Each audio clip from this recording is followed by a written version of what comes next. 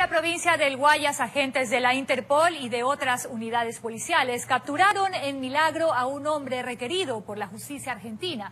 El detenido es de nacionalidad mexicana y sería el principal sospechoso de haber asesinado a una mujer en Buenos Aires.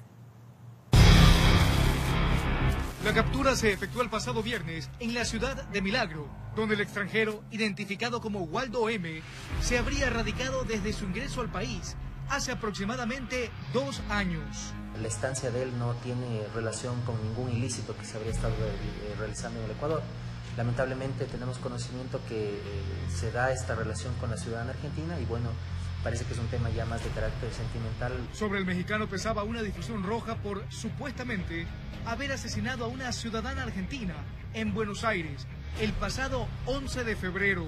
La ciudadana argentina pagó el pasaje de esta persona, se conocieron por Facebook, pagó el, pasaje, el domicilio se dio en el domicilio de ella en Buenos Aires, Argentina, en Francisco Álvarez, la comunidad de Francisco Álvarez.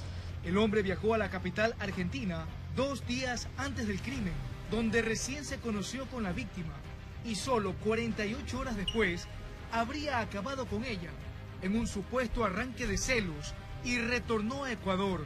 Es un sujeto que, como le indiqué, está requerido eh, por la justicia argentina por el asesinato de una, de una mujer.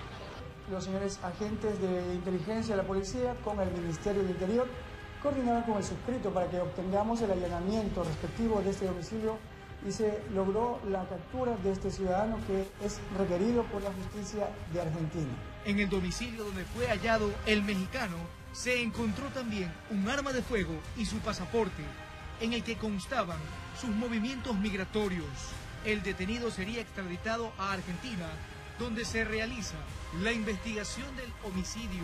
Nosotros logramos determinar que el ciudadano se encuentra eh, en la provincia del Guayas y en conjunto con la Policía Judicial, la UIAD, que es la Unidad de Inteligencia Antidelincuencial, Criminalística y el Grupo de Intervención y Rescate, se logró la aprehensión de este ciudadano. Informó Ítalo Ruiz.